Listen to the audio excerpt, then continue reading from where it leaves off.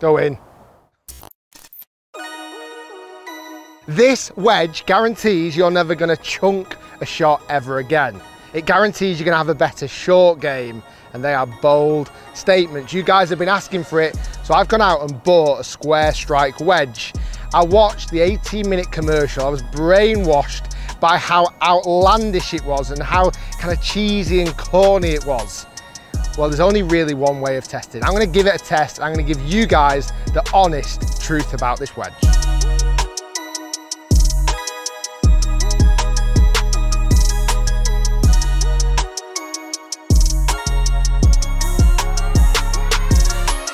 So before hitting the first shot with the square strike, I want to give this club a little bit of context. You guys have asked me to review this club so much. In the USA, you've probably seen it because the advert or the commercial gets plastered all over TV. It's quite a corny commercial, but it claims to eliminate chipping and pitching woes forever. Reckons you cannot chunk this wedge. see if that's the case.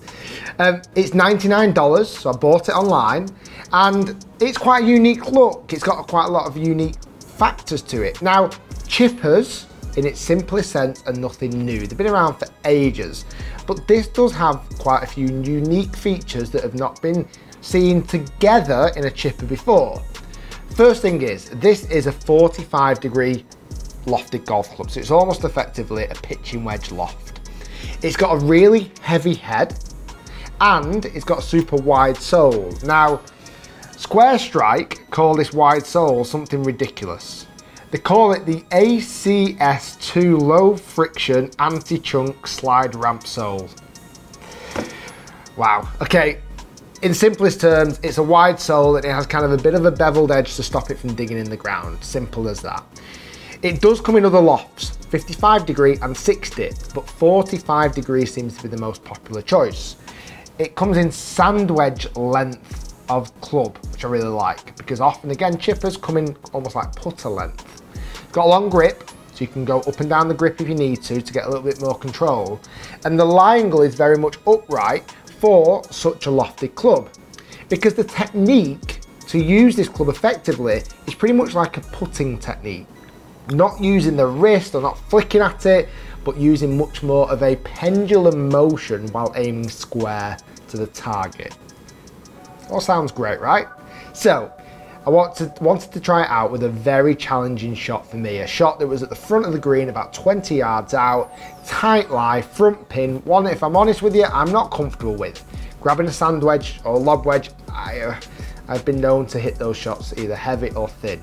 So let's see if the square strike from that position does any good. All right, that's not bad. I'd take that normally.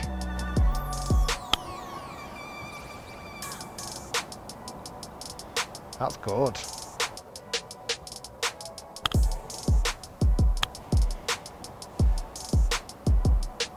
Go in.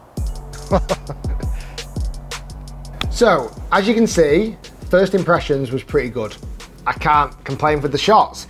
The heavy head took a little bit of time just to get used to in, in the practice swings, but on the actual execution of the shot, the club did what it said it would do. And that surprised me because I was kind of hoping to be able to rip this to shreds a little bit because as I've seen on the commercial, the fact that it tries to brainwash you to thinking this is some sort of magic wand. So I thought I'd try it on some longer shots too. Similar tight lie, front pin, but slightly longer shot.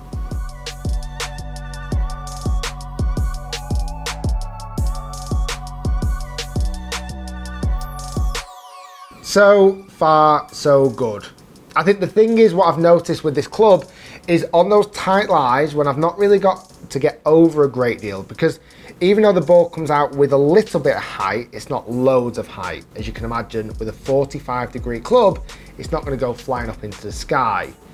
But if you see it as a chipper, and that's really what it is, it's a chipper, glorified one granted, a little bit of a, uh, a crazy one, granted, but it's a chipper. In that situation, it worked great. Gave me good execution. The likeliness of, I, I kind of caught a few thin off the bottom of the golf club, but the result still worked. You've got to bear in mind, you've got to try and land it a little bit shorter to the green, but that's really the only thing you've got to take into consideration. It's a much shorter swing than you would experience with a sand wedge or a lob wedge.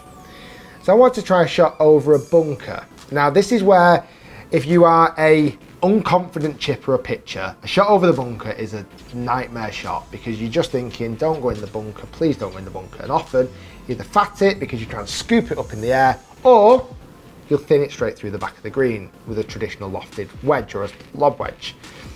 Now the square strike did a job. And that's the only way I can explain it. It did a job. It did a decent enough job to get the ball over the bunker. But do not be fooled to thinking that this is a lofted club that's going to fly you up in the air. Certainly not in the 45 degree loft. It had its limitations. For me, as a, I'd like to think somewhat of a skilled player, I would much prefer to get my lob wedge, open it up, fly it up over the bunker and hit a more skilled shot. But that does come with its downsides because like as I mentioned, if you don't hit it well, the results can be horrendous. If you are bottom of the barrel with confidence with chipping, just something that pops it over the bunker would be more than sufficient for you. So then I wanted to try a few more different shots. Certainly shots from around the green in the rough, because that's where for me, I want to get a little bit more wristy with it, a little bit more flicky, and be able to elevate the loft. But with this club, it's not advised one bit because you thin them if you do that. So I had to try and play the kind of square back, square through putting stroke, pendulum stroke out of the rough. As I mentioned before, it wasn't brilliant in this situation. It did a job. It got it up out of the rough onto the green, but I'm never going to get it that close, certainly off some of the really hard shots that I put myself in. When you've got loads of green to work with, I mean, it's just simple. When you've got tons of green and you've just got to bump it over a little bit of rough, this club is perfect for that because it just delivers the loft use the bottom of the club not to dig in the ground and it just pops up really nicely. And after a little bit of time getting used to the technique, as you know, not using the wrist as much, it worked a treat. So then I thought, well, hold on, that's me. You know, I can I can kind of change my technique pretty quickly. You know, if it tells me to keep my wrist straight and do a pendulum stroke, I can do a pendulum stroke. What happens though if I put the club in the hands of some unexpected amateurs? So I got hold of a group of guys that had just come off the 18th hole at the Marriott Worsley Park. And uh, I didn't tell them a lot. All I told them was this is a chipper that you've got to use a putting stroke to make it work more effectively.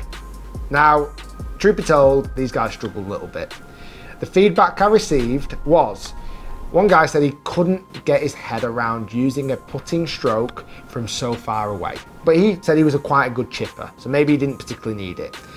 The guys who struggle with chipping, for me, did okay with this club, but not that impressive. A lot of thin shots happened, a lot of shots where it came off really low and just skipped along the floor. In its defence, nobody chunked it. And that is something that's really hard to do this club. It's very difficult to chunk it. I hit some where I really tried to chunk it. I leant back on my right foot, tried to scoop it, and I hit the ground behind the ball. Now the ground was pretty hard when I tested it. It skimmed along the ground, still made contact to the ball, and as long as you've not got anything to get over, I actually hit some decent enough shots, which is totally embarrassing because they were horrendous shots. So all in all, the perfect candidate for this golf club is someone who hates chipping, someone who doesn't want lessons and actually just sick of being laughed at by their playing partners. They just want to get the ball on the green and it does a great job for that. You're never going to flop it up in the air like Phil Mickelson, but you don't really need to with a club like this. The commercial, the advert is corny and cheesy and I hate every bit of it. But as a golf club, it works. And if you hate chipping, it's definitely worth giving a try. Thanks for watching. We'll see you next time. And that was the Square Strike Wedge.